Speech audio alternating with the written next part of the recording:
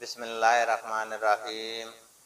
حضرت جابر رضی اللہ تعالیٰ عنہ نے رسول اللہ صلی اللہ علیہ وسلم سے حدیث بیان کی کہ آپ صلی اللہ علیہ وسلم نے کھڑے ہوئے پانی میں پیشاب کرنے سے منع فرمایا۔ اللہ تعالیٰ سے دعا ہے کہ وہ ہمیں قرآن اور حدیث کو سننے، سمجھنے اور اس پر عمل کرنے کی توفیق عطا فرمائے۔ آمین۔